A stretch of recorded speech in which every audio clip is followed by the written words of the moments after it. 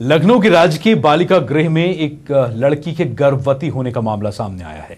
यहाँ पर बाल गृह प्रशासन लड़की पर ज़बरदस्ती गर्भपात कराने के लिए दबाव बना रहा था। मामले के सामने आते ही हड़कंप मच गया। बाल गृह की प्रभारी को तत्काल प्रभाव से सस्पेंड कर दिया गया है।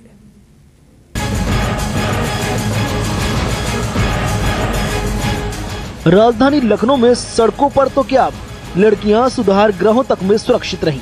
ताज़ा मामला लखनऊ के राजकीय बालिका गृह का है, जहाँ सुधार गृह में रह रही 20 साल की एक लड़की के गर्भवती होने का मामला सामने आया।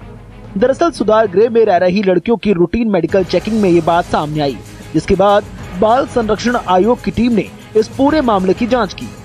आयोग के अध्यक्ष जूही सिंह ने जब लड़की से अकेले में बात की तो कई चौंकाने वाले तथ्य सामने आए।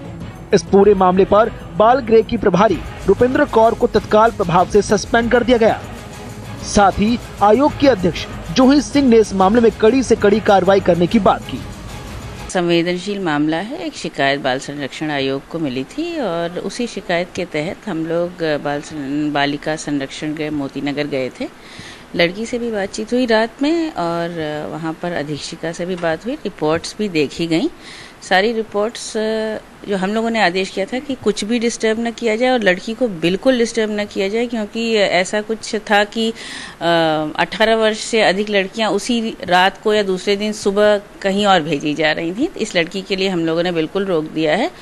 हम लोगों ने एक लिखित उनको क्वेश्चनर जारी किया है, जिसपे ऑफिशियली वो सारे रिकॉर्ड सत्यापित करके और अपने सारे जवाब आज हम लोगों को देंगे।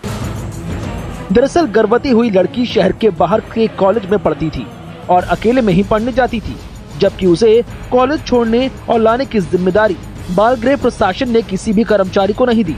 शुरुआती जाँच में ये भी पता चला कि उसके संबंध वही काम करने वाली एक महिला कर्मचारी के बेटे से हैं। बाल आयोग की टीम ने जब कई कर्मचारी और आरोपी लड़के से पूछताछ की तो सामने आया कि लड़का लड़की एक दूसरे से प्यार करते हैं। दोनों शादी भी करना चाहते हैं। लेकिन बाल ग्रह की अधीक्षिका बिना शादी के ही दोनों को एक साथ बाहर भेजने की कोशिश कर रही थी। फ़िलहाल, आयोग की टीम इस पूरे मामले की जाँच में जुटी है। लखनऊ से हफीज अहमद की रिपोर्ट।